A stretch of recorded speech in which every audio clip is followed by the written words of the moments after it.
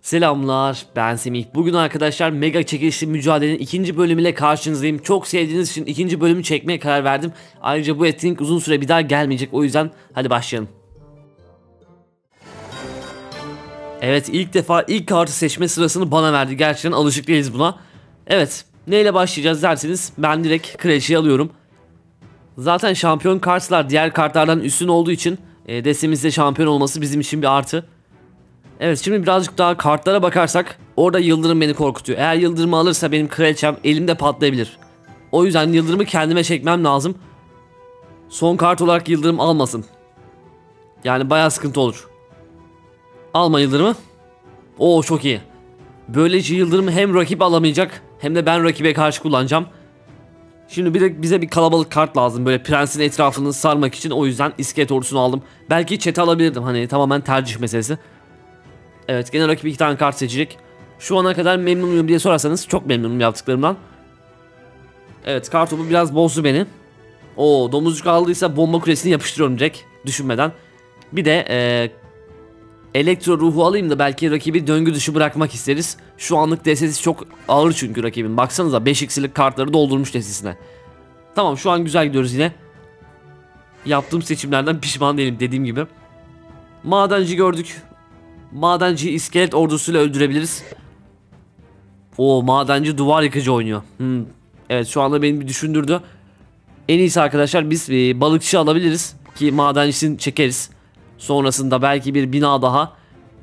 Ama duvar yıkıcıları savunabileceğim bir mezar taşı veya top göremedim o yüzden var ile idare edelim. Hem küçük büyümüz yoktu resmimizde. Son kart olarak kraliyet devini bırakırsan çok sevinirim. Oo barbarlar aldı. Alabileceği en mantıklı kartı aldı çünkü benim yıldırımım var. Kraliyet devine karşı çok sıkıntı çıkartacak barbarlar. Neyse destemiz güzel her şeye rağmen. Oyun planımız belli şu anda. Kraliyet devini atacağım. Barbarlarını atacak. Ben de ikinci kraliyet devini atacağım. Evet. Zor bir maç mı bilemiyorum. Rakibin oyunculuğuna göre değişecek. Evet. İkimizin de kozları var. ikimizin de dezavantajları var. O yüzden ilginç bir maç dediğim gibi. Arkadan ruhla başlayalım. Kraliyet devini şu anda atmayacağım zaten barbarları var biliyorsunuz. Arkadan kart atarak başlıyorum. Atak kartı ne? Madenci, duvar yıkıcılar, domuzcuklar. Ana kulesini açtı ama değer mi? Değmez. Kesinlikle değmez çünkü kraliyet devi oynuyorum. Ana kuleli işim yok. İskelet ordum hazır madenci için. Her şey için bir kafamda çözüm var şu an. Belki varil atsak daha doğru olurdu. Ama iskelet ordusu hata çıkıyor öyle bir artımız var. Bu arada balıkçı. Çok güzel vurdu. Tamam güzel bir başlangıç. Domuzcukları var elinde unutmayın. Kraliyet devi atsam da bomba kulesine iksirim yeteceği için.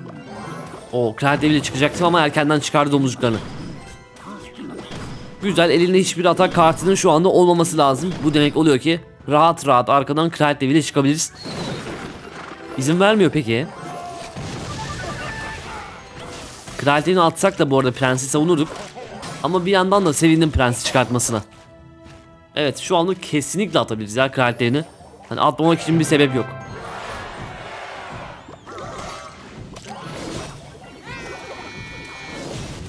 Oo iksirini kökledi. Hasar yedik ama sakın bunu saymayın hasardan. Çünkü inanılmaz bir iksir karındayız. Yaklaşık böyle bir 9 iksir harcadı sol tarafta. Barbarlar atacak. Evet telaşlanmayalım. İkinci kraliyet devi yolda. Bu sefer de barbarları olmayacak elinde. Üstüne bir de bana saldırıyor. Evet bu işi bitirme vakti. Kesinlikle. İyi bir analiz yaptık. Rakibin desisinin ağır kaldığını gördük. Ve hızlı deste aldık. Evet bu sefer hiçbir şey yapamıyor. Kral devi.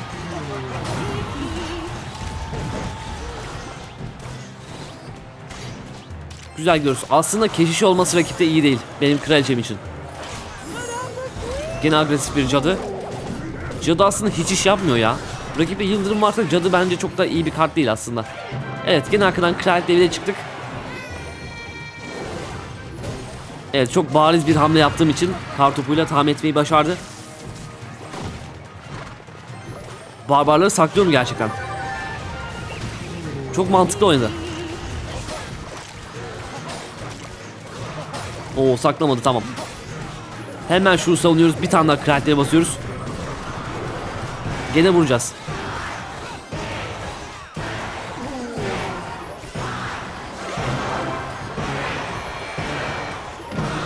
Sanırım burada bitebilir maç ya.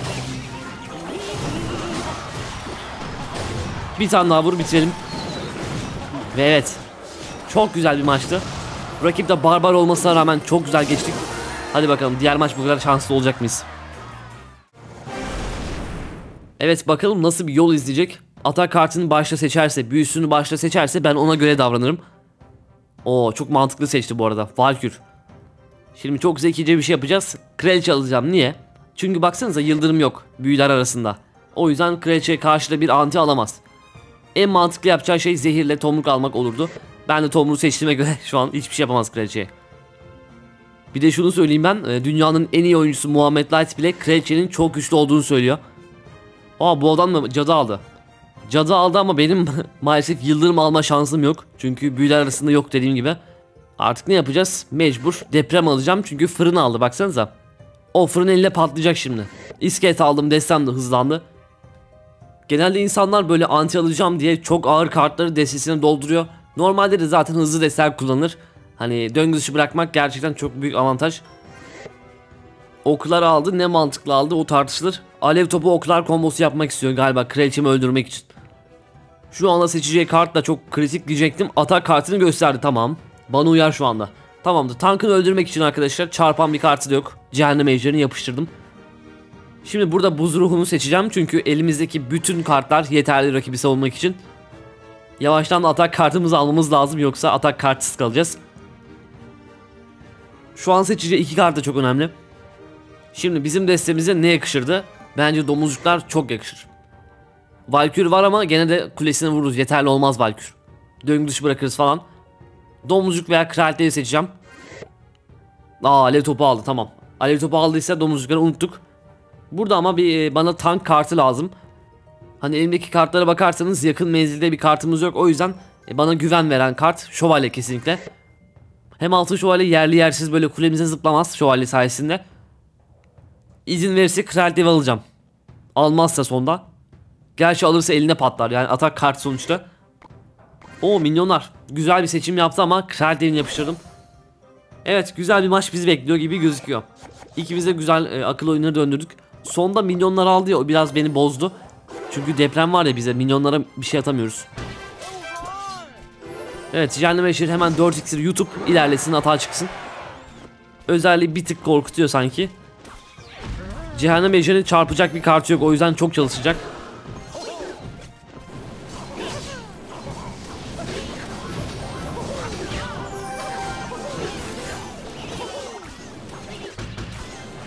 Çok iyi kusursuz defans yaptık. Bence burada rakibin kulesine vursak e, iyi olur çünkü rakip büyük büyüsünü agresif bir şekilde kullandı alev topunu. Baya bir geride olması lazım iksir olarak. Tamam 4 iksiri yuttuk. Kesinlikle kraliçe basılır burada. Zaten iksir karımız var ama aklıma ne geldi? Rakipte cadı var. O yüzden hiç gerek yok. Cadısı da cevabımız da yok. O yüzden beklemeyi tercih ettim ve evet. İyi ki beklemişiz. Mesela yapacak hamleniz yoksa veya yapacağınız hamleler gerçekten kötüyse bence bekleyebilirsiniz iksir olarak. Veya çıkartabiliyorsanız tomruğunuzu falan küçük büyünüzü çıkartabilirsiniz. Pişman değilim kraliçeye atmadığım için. Şimdi kraliçeye de hiçbir cevabı yok bu arada. O yüzden kraliçe şu an çalışacak. Cadı şu an gerçekten sıkıntı çıkartıyor bana.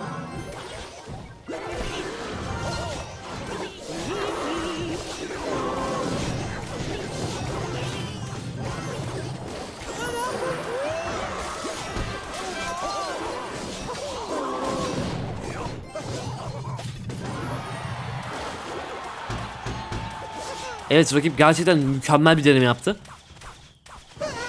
Ve kulemize bir çizik bile almadan şu anda defansımızı yaptık. Az önce atak niye bu kadar tuttu biliyor musunuz? Çünkü depremimiz var ya bizim. E, devin arkasına bir kart yığdığında ben bir şey atamıyorum. Agresif bir şekilde kraliçeyle çıktım yoksa beni döngüye alacak. Çalış cehennem ejderi. Of çok iyi.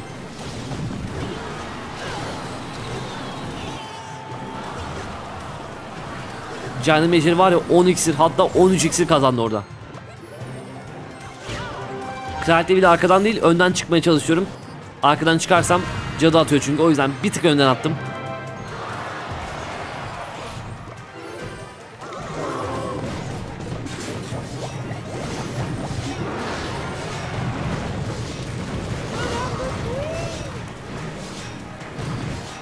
Bitir kral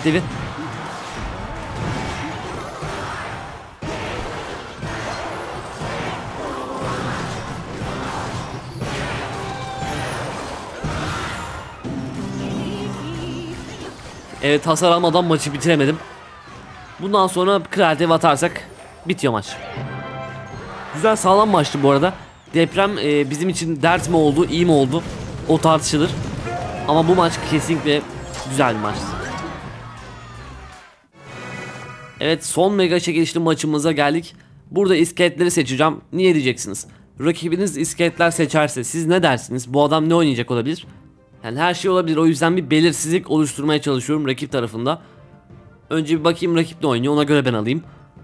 Evet şampiyonlardan da bu arada gözüme kraliçe parlıyor. Ama şimdi keşiş kullanılmıyor artık biliyorsunuz metadan tamamen düştü. Mini pek kaldı. Dev aldı tamam. Şu anda bir strateji yapıyorum. Bunu hep yaptığımın farkındayım ama güzel olduğu için yapıyorum. Yıldırımı kendime saklayacağım. Kraliçeyi de kendime saklayacağım. Sanırım bu videoda full bunu yaptım ama kusura bakmayın. Hani çok güzel bir taktik olduğu için bunu yapıyorum. Ee, yani evet. Şimdi arkadaşlar Yıldırım rakipte olmadığında çok büyük sıkıntılar yaşayabiliyor. Bir de felaket kulesini bana bırakırsa devi eriyecek direkt. Felaketi bana bıraktı. Direkt kapacağım onu. Ama ikinci seçim olarak e, gördüğünüz gibi rakip base kartlardan yürümeye başladı. Biz büyülü okçu alırsak rakip hiçbir şey yapamaz. Çünkü baksanıza ne alev topu var ne zehir var seçenekler arasında. E, bunu görmemiz de güzel oldu bu arada. Büyü seçimlerini hala yapmadı. O deprem mantıklı. İskelet fıçısı da mantıklı. Felaket kulesinin antisi iskelet fıçısıdır. Deprem de felaket kulesinin anti. Güzel yerden girdi. Gerçekten tebrik ederim. Ben bunu görmemiştim. Tomru seçim zaten biliyorsunuz. Tomru kütlesi hızlandırır. En iyi küçük büyüdür. Hem prensesi de aldım. Cevabı yok. Yapacağı en mantıklı şey kesinlikle madenci seçmek diyecektim. Evet. Şu an güzel. Bu arada iyi bir rakip. Onu söyleyeyim. Seçimleri falan çok zekice adamın. Atak kartı da almamışız. Yakın menzil kartı da almamışız. Atak kartı olarak bininci mi köstebek mi? Çok zor soru ama köstebek diyeceğim ya. Niye köstebeği tercih ettim diye sorarsanız kesinlikle tercih meselesi burada.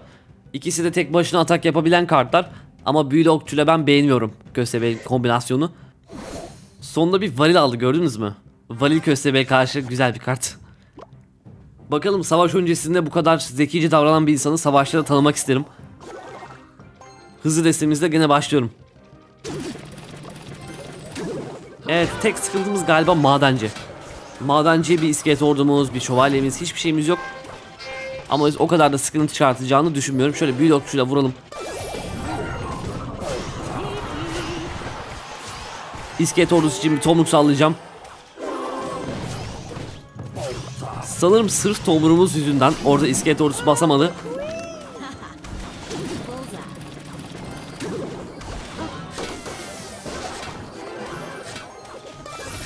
Evet çok güzel yakaladı. Gerçekten bravo. Tomru attık ya orada o yüzden iskelet fıçısıyla saldırdı bize bir de tankladı madenciyle. Evet zekice bir atak yaptı ama bizim artımız var şu an. Baya bir baksanıza kulesini aldık. Ama her şeye rağmen gerçekten bravo yani. Evet şimdi hatırlarsanız depremi var ama deprem felaket kulesini öldürmek için yeterli bir kart değil. O yüzden felaketi yapıştırdım direkt. Arkasına bir minyon atabilir ortadan bölebilir. Bu durumda kraliçem hazır veya prensesim. Dev bir tane yumruk atsa ölecek felaket kulesi depremle beraber. Ya bu defansif köstebeği kullanmaktan gerçekten çekinmemek lazım. Hem bir kere devi öldürdük. Hem mini pekka'yı öldürdük. Evet bu sefer o kadar da problem değil benim için. Bu iskelet fıçısı. O değil de bu videoda tamamen kraliçe kullandım onu fark ettim. Ama kraliçe de güçlü ne yapayım? Hani uzun zamandır da nerf yemedi. Ee, bir şampiyonu maksamak istiyorsanız kesinlikle ok okçu kraliçe olsun. Bu arada bu oyun moduna gerçekten e-sporculardan da çok pozitif şeyler geldi. Yorumlar geldi. Hani gerçekten ben de çok sevdim. Neyse övmeyi fazla abartmayayım.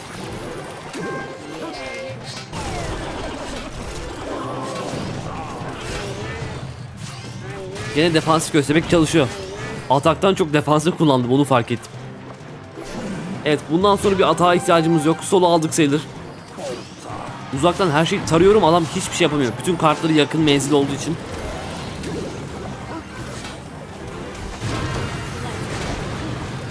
Evet son maçımızda kazandık. Bu arada rakip de benim saygımı kazandı onu söyleyeyim. İyi oyuncu diyorum. Hani rakibin sizi tebrik ediyorsa gerçekten bir şey yapmışsınızdır bence. Ya hiç yoktan analiz konusunda gerçekten bir pratik oldu benim için. Bu etkinliği oynamak. Çünkü neyin neye anti olduğunu böyle hesaplamak hoşuma gidiyor benim de video sonuna geldik. Umarım bu videoyu beğenmişsinizdir. Bir katkısı olmuştur size. Bir sonraki videoda görüşmek üzere. Hoşçakalın.